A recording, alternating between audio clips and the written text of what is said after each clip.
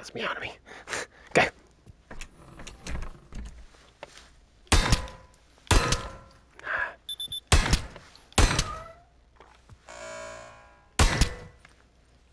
Should redo it with both hands, but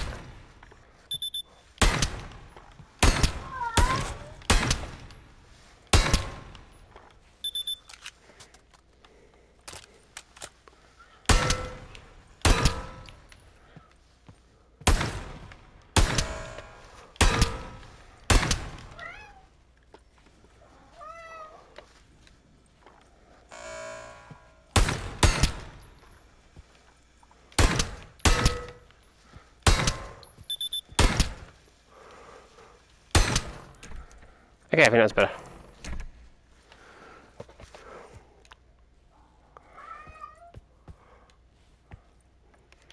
Not too bad.